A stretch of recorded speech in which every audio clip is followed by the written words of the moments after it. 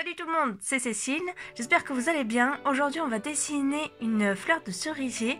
Donc euh, je sais c'est pas vraiment dans, dans tout ce qui est visage en manga et tout ça, mais dans les mangas il y a plein d'autres choses à dessiner que euh, forcément les visages. Il y a les paysages, les objets, la nourriture.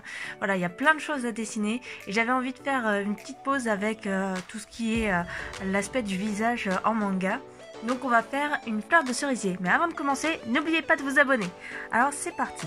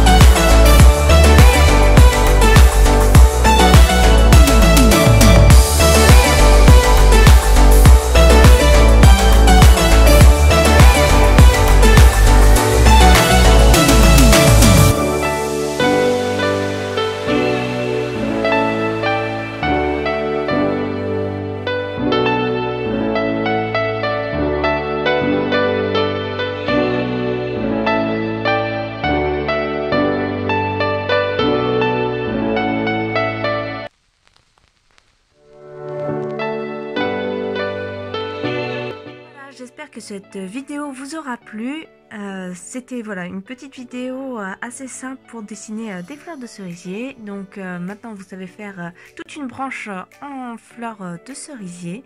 Donc maintenant c'est à vous de jouer. Et n'oubliez pas de me laisser des commentaires si vous avez aimé cette vidéo ou bien vos, vos besoins.